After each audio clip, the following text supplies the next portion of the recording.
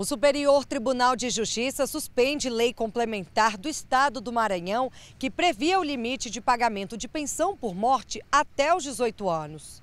Está previsto na Lei Federal número 8.213 de 1991 que filhos de servidores públicos com até 21 anos têm direito de receber pensão por morte. Se for portador de deficiência, o pagamento é vitalício.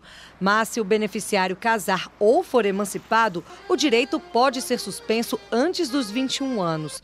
Porém, uma lei complementar do Estado do Maranhão, publicada em 2004, prevê que o benefício deve acabar quando o dependente completar 18 anos e não 21.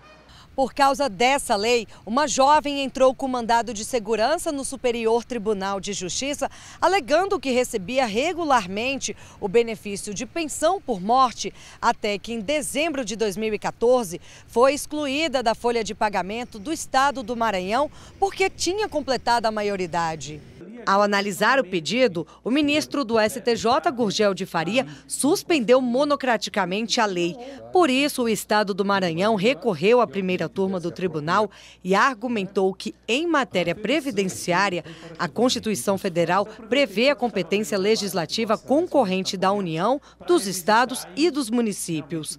O ministro manteve o entendimento da suspensão da lei. O magistrado destacou que a legislação federal deve prevalecer sobre disposições de lei local. Esta advogada explica que as leis estadual, municipal e distrital servem apenas como complemento. Ela se subordina. A gente não pode falar em hierarquia de normas, não existe essa hierarquia, mas é para não haver conflito dessas normas é, existe esse respeito, na verdade, de que a lei federal traga normas gerais e as demais elas devem seguir essas regras gerais e apenas apresentar algumas, é, algumas é, complementos a respeito de regulamentação da aplicação dessas leis.